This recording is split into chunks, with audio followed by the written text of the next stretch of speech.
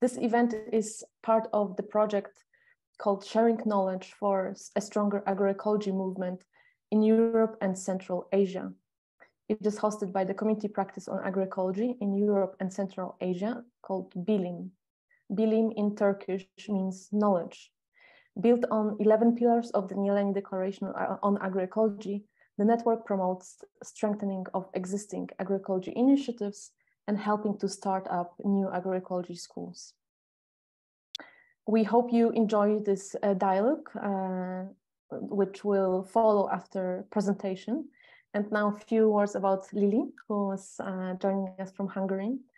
Uh, Lili Balogh uh, is uh, a bioengineer and tropical agronomical engineer. She's been actively involved in the international food sovereignty movement for over the past decade. Uh, among others, she has worked in several eco-political NGOs to promote agroecology and regenerative food systems in different parts of the world. And for the past seven years, as we've learned since uh, the Nyéléni Forum in Romania, she has focused on building the Hungarian agroecology movement stronger. Recently, she's worked as the program manager of Greenpeace Hungary for a year, which she's left to engage more actively in the support of transition to sustainable food systems. In February 2002, Lili became the president of Agroecology Europe Association and the Hungarian Agroecology Network Association. And she's also fully having her hands on hands in the ground as uh, she has her own farm in West Nograd, in which she's been running since 2018, and where she applies a variety of approaches from holistic management through regenerative agriculture, permaculture, and agroecology um, methods and approaches. Uh, I will not uh, continue here myself as we will hear quite a lot from Lili about Hungarian agroecology network and that very Central European perspective. Uh, uh, but just to say that the Hungarian Agroecology Network is a diverse uh, forum of various stakeholders. It's transdisciplinary and intergenerational network, uh, which uh, which is very much centered on uh, creating spaces for knowledge co-production and advocacy for agroecology. So, Lili, over to you. Thank you. So let me tell you the story about the Hungarian Agroecology Network, how it's all started and uh, what different collaborations and cooperations we did in order to, to um, strengthen and widen the movement. So uh, as uh, Joanna was mentioning, uh, in 2016, at the Nyéléni Europe Food Sovereignty Forum in Cluj, uh, we, uh, it was a really important moment as well for the whole European movement, I believe, because it catalyzed many different uh, actors and uh, regional actors. So as you could hear, like a couple of weeks ago uh, from the Nyéléni Polska, the Polish experience, I'm not going to say we have a similar, we have a similar one, but not an identical one because it really created a momentum or there were, was a Hungarian delegation taking, uh, sorry, I'm going to slow, slow, uh, speak slower. I realize that I'm, I'm speaking too fast. So there was a Hungarian delegation that took part as well in the forum and they wanted to, to continue to do, do this work. So, um, we organized in 2017 an event where we gathered from all over Hungary, different uh, actors, practitioners, some researchers who, who are um, active in, uh, in, uh, in creating an alternative food system, but nothing more concrete. It was more like a space for dialogue, but there was no concrete action. Uh, however, as we got already engaged in like uh, some international movements uh, and in collaboration with uh, Eco Ruralis, for instance, and uh, Hands on the Land project, we got involved as well uh, in the Peasant Rights Declaration promotion. And uh, and started already like to to get familiar with international processes. And talking about international pro, uh, processes, I don't know whether you know the European Association for Agroecology, which is called Agroecology Europe, which uh, was uh, funded in 2016 uh, with the aim of promoting agroecology throughout Europe on from a practice from the practice level to to the policy level and everything that comes between, of course. Um, and uh, every two years, they organize a forum, and the first forum took place in 2017. And uh, I just wanted to bring it in this here as well, because even though that this was much more an academia focused meeting on agroecology, it was still a very important part in the whole agroecology movement in Europe, I believe, because it gathered for the first time in English language different actors from all over Europe to talk about agroecology concretely. So we had the Nyéléni Forum, a year later, the Agroecology Europe Forum, and this gave us all inspiration that we should go further. And in 2018, we were asked to help in the, the organization of the FAO uh, Civil Society consultation, where we had a lovely fantastic group of people and some of you and i guess you recognize many familiar faces on the picture so yet again this was a, another uh, event which really gave us inspiration that how much more there is to do and why it is, is so important to collaborate with different actors not only regionally but like a wider region and we continued as well like our lobbying activity for the rights of peasants. And uh, that's when we with a few colleagues we started to organize in hungary in collaboration with the central european university based in budapest or which was used to based in budapest still at this time uh, the agroecology nights which was an event series um, um, each time like uh, um, get diving di- diving deeper into the different aspect of agroecology. So the first time it was like understanding like the big picture of agroecology then it was the economic dimension the political dimension and the social dimension as well of it and the special focus on seeds of course. And uh, here, each time we organize these events, the, the main aim was to really create a space for dialogue between the different actors yet again, because we really believe that we need to have the to have the practitioners, the farmers, the academia, and the, the activists talking about the same topics. And uh, they might use different words, but we really need to create a dialogue and an understanding between them. So that was what it was in 2018. And then we realized while we were holding these events that actually it would be really good to understand what is actually happening in Hungary. Because I mean, I'm not saying that nothing was there before a few colleagues and mine, we started to, to, to work upon it. Uh, of course, there have been tens and twenties and hundreds of years of wonderful tradition and uh, and great movements that have arisen, but like slowly lost their energy. So um, together with Agroecology Europe and the Environmental Social Science Research Group, we carried out a mapping activity um, in 2019 and uh, 2020, which we presented uh, at the, uh, the European Forum of Agroecology in Crete in 2019.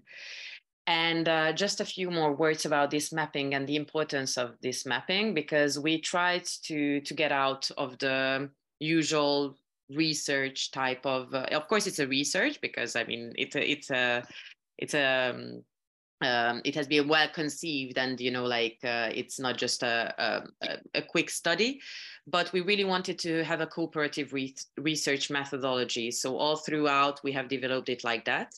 And uh, it's um, it's it's been based on uh, on three different points. The first one was the mapping of the stakeholders to get really an overview of the different uh, people who are at, not pe- only people but organizations as well, and different actors who are involved in the various food networks, um, and whether they are from the science, the practice, the movement and uh, as well getting an overview about like what has been going on in the past uh, decades then another second part was as well, of course, to do carry out a literature review, which is much more a scientific uh, approach of it. But uh, as as I said, like we still wanted to have a scientific research paper, but which is much more. It's made with and for the activists and for the practitioners. So it's not only we wanted to make a living document, but we needed did to have as well a concrete scientific literature review as well in it. And last but not least, and the most importantly, we carried out 10 qualitative explorative interviews uh, who were carefully chosen to really represent different domains and different uh, constituencies of agroecology in Hungary. And what was really important for us is that we didn't approach the usual suspects. So really the people that, mm, if you would say agroecology, they would run to, towards that person. So of course, actors who are some um, involved in agroecology, they might not use the word agroecology, but they are not the ones that have been contacted so far or have been interviewed so many times. So this is basically how the, the mapping has been um, uh, structured. And uh, I, am not going to present to you the, the whole, uh, whole document. It is available uh, on Agroecology Europe's website in English, both in English and Hungarian and uh, but just two images to show you because uh, like we can really gather different information from this. Not only for for us one of the most important one was to realize like what a richness, a diversity of actors we have, not only geographically, as you can see it here on the on the map. Uh, on uh, this is Hungary, and uh, of course you can see that like the the different crosses are are um, representing either production places, uh, science, uh, agri- uh, scientific places. I mean, who are based there, etc. Um, but uh, to really understand to see that there's a huge potential in this and it's living there and that we we we are still there to to connect these people. And this is actually what we realized that there's a diversity of actors but unfortunately they are not communicating. And so for us the most important part of it was to uh, uh, was realizing this that okay if we want to create an agroecological movement and if, if we want to help the spread of uh, and uh, scaling out of agroecology we need to connect the dots and we need to I mean, by of course, like voluntarily, but we need to enable a space where these conversations and these, ex- these exchanges can happen because basically all these people and all these actors want the same thing to to transition to a just and uh, and ecological food system. And uh, the other image on here, it was as well part of the qualitative interviews um, it was basically asking to the interpretation of, uh, of these actors of uh, what agroecology means to them, because uh, as I guess it is quite common in, uh, in our region, we don't really use the word agroecology. We use more words than organic farming, permaculture, sustainable farming, etc. And uh, agroecology has not been so used. So we really wanted to see when we when we speak about agroecology, what do they understand with it? And I think it's quite interesting how important the spiritual and material relationship to the land came out.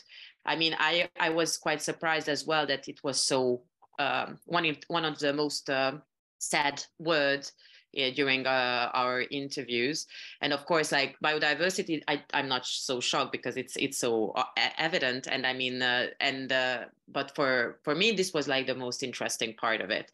But anyways so back to the to, to the mapping. So we realized that there's this huge diversity of actors but okay now we produced a fantastic document but what shall we do with it? So uh, in 2019, when we released the document, we organized a conference, the first Hungarian agroecology conference, in collaboration with the Environmental Social Science Research Group and the French Institute in Budapest. And the aim, yet again, was of course, to talk that we have this uh, mapping, but uh, to make it much more interactive and lively.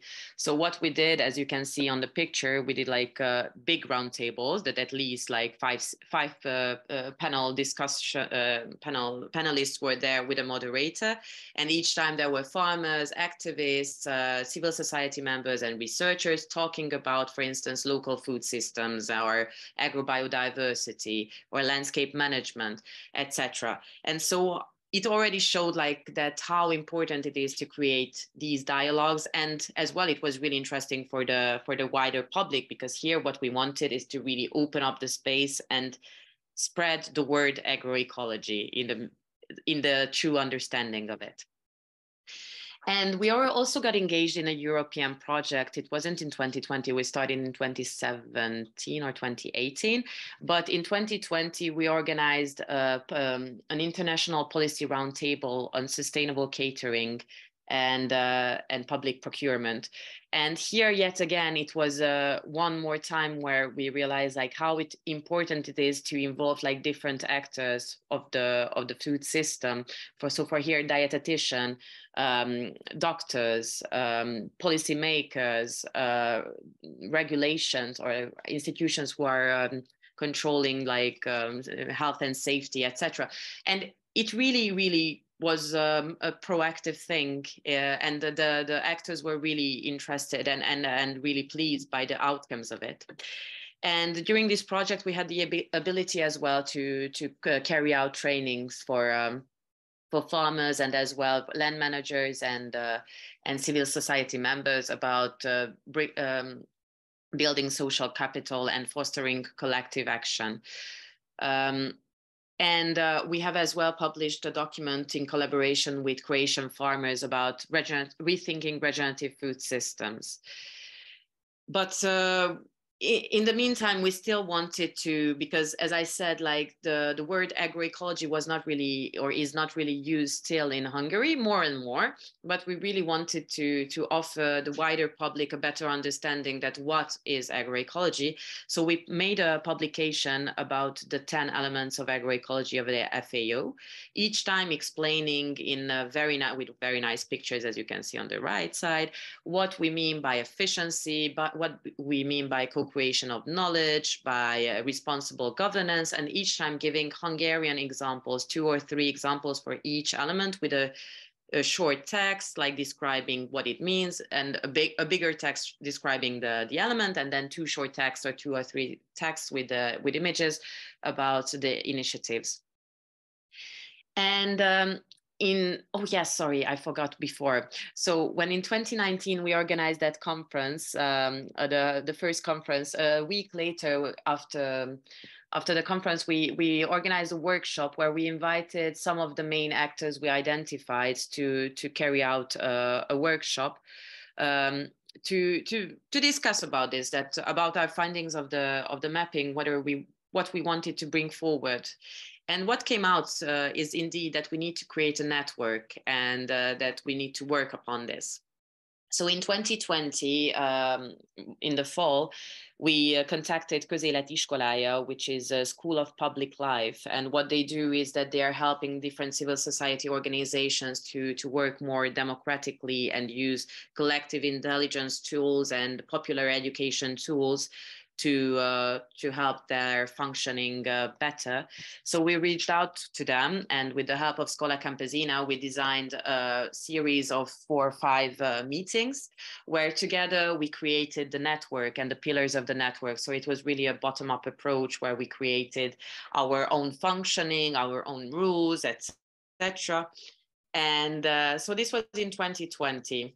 And in 2021, still in COVID, we were holding uh, quite regular meetings. Almost every me- week, we had like different working group online meetings, but we as well organized once it was possible some personal meetings. And um, and as well, uh, we carried on like to to act together. Um, for the organization of conferences, webinars, trainings, and even policy recommendations. So, for instance, the Common Agriculture Policy, uh, we made a, um, a position paper, a joint po- a position paper with the different actors. And now I realize that I haven't yet mentioned who are the uh, members of the of the network. So um, right now on the or on our um, on our list we have 60 60 members but of course like this will this will um, open up hopefully now because uh, we we have been in ki- kind of a um, hibern- not hibernating period, but more of winter period, as it is winter. But anyways, so the 60 members we wanted, uh, who we invited for the first round of um, of these um, participatory methodology uh, development of uh, of the basis of, uh, of the functioning of the network, we invited uh, farmers, researchers, activists, CSOs from all over Europe and from different uh, all over Europe, sorry, all over Hungary uh, and from different institutions and trying to have like a ge geographical uh, diversity but as well of different scales and different topics. So we it wasn't like okay let's invite everyone but more like targeted.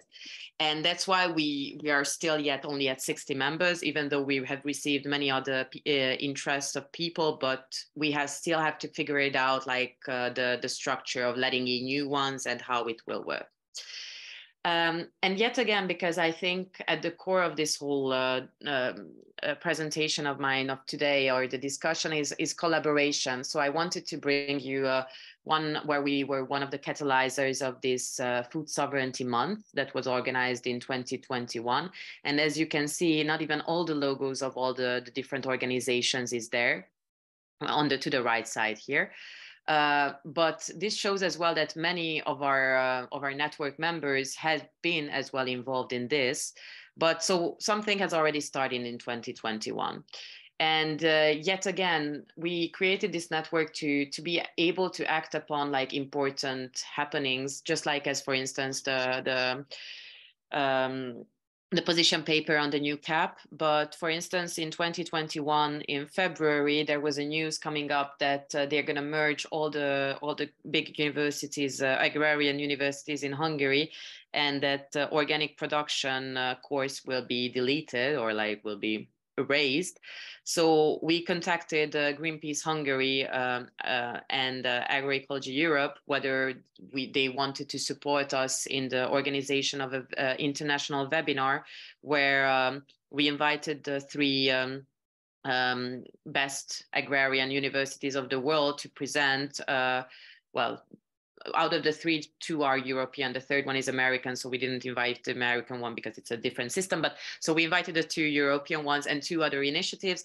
The conference is available on this website and it's in English. So if you're interested, it's really it's it's quite interesting because it really shows the importance of uh, agroecology in education and research and how different approaches are tackled in Wageningen in the Netherlands or um, in SLU, which is the Swedish University, Agrarian University. But we have as well the gastronomic sciences uh, in uh, Bra in uh, Italy, and as well the um, innovative farmers um, program in the UK, where it's a farmer-led uh, research program. So anyways, it's, it was a really important and interesting event that we organized. And yet again, I just wanted to show that it was a collaboration between yet, uh, different, uh, different uh, actors and that's why it could work. And yet again, another conference we organized on the importance of water and water management.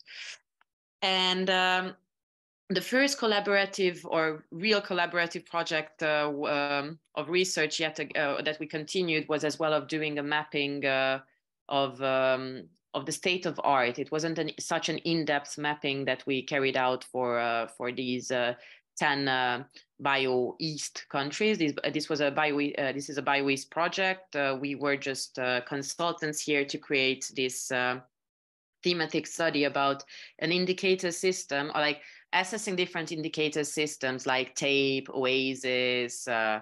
Um, etc., to see whether how applicable they are in our region from the Baltic down to the Balkan, go through, going through Central and Eastern Europe. And as well, like uh, some regional specificities about like uh, what hinders and promotes agroecology. This is as well available on the BIOEAST website, but I guess we will provide you all the resources. And in 2022, we formalized ourselves into uh, becoming um, um, an, um, an association because right until in 2021 we were an informal network because we were still figuring it out like how we want to collaborate and what options there are but of course uh, there are much more options, especially for funding, uh, uh, and we need funding if we want to to work upon these things. If we formalize ourselves, so we in 2022 February we created the Hungarian Agroecology Network Association, which is basically the the workforce or like right now the workforce behind uh, the the associate uh, the, the network, and we applied for the first uh, project, which was uh, uh, which is uh, a European project for the promotion of uh, regenerative agriculture. And uh, we thought that this would be a great opportunity because regenerative agriculture, as you might be aware, is too often used without too little um, meaning, or it's quite co-opted by many different actors, if I say, can say so. So we thought, okay, um, we will use the regenerative agriculture understanding of our understanding, which is an organic, holistic regenerative agriculture, but in an agroecological, so with an agroecological setting. And we applied for this project together with ÖMKi, which is the Hungarian National Research Institute. And uh, so the, basically this project is to, to is running for three years and each year we are giving a training for at least 30 farmers. And as you can see, it's really a hands-on experience, but we really want to foster as well like different uh, approaches of acting collectively because what we realized during this BOND project that I mentioned before is that our region is really lacking these uh, these uh, cultural approaches uh, to have like a, a, debate where we are not screaming with each other but we're listening with uh, with respect to each other. So i think we all need to relearn how to how to dialogue together. And uh, we organize as well an international conference for this. And so what brings me to nowadays like 2023 and what we are planning to do now uh, is that we are as we as i said like last year it was more about organizing ourselves internally whether we like preparing to formalize ourselves uh, to into an association. And now we want to open up and engage with the, the this variety of uh, of national net uh, of uh, of national actors who uh, who we really need to engage with in order to build a stronger movement but as well, I think it's quite important to, to continue building regional cooperations and collaborations. Um, and by region, either I mean Central Eastern Europe or, or with Central Asia and Europe, but as well uh, international collaborations because we are living in such a globalized world that uh, basically Brazil is just around the corner. And um, as I said, we already started to participate in international processes and hopefully we will continue to do so. And actually now in the first uh, quadrimester, uh, we are planning to update the mapping that uh, I showed you before because uh, we finished that in 2019. And even though only a couple of years passed by, many diff- like it has been so activated and uh, so we really want to have like something yet again like okay what is the state of art it's not going to be such in depth but more like a, a shorter one but an updated versions version of it and of course, we're participating in different dissemination activities in order to create these linkages.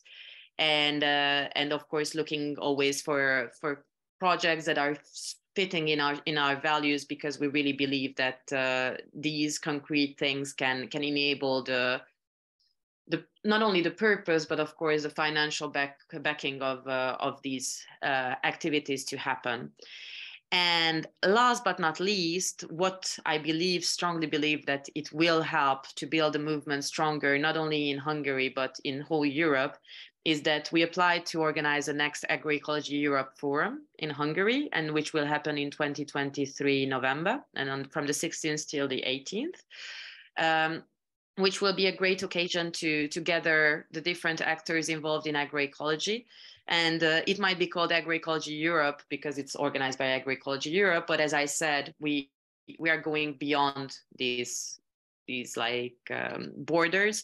And i really believe strongly and that's why uh, we applied to to host it in hungary because i think we really need to show the and don't get me wrong, but the Western Europeans that indeed Central Eastern Europe and Central Asia is full of agroecological initiatives, but we are not we are not showcasing them right now. So I cordially and uh, with warm-heartedly invite you all to participate in the forum in next November, and uh, more information is going to come soon. So this was it. Uh, I hope that uh, it I wasn't too long, and uh, and of course, if you have any questions, I'm more than happy to answer them. Thank you very much.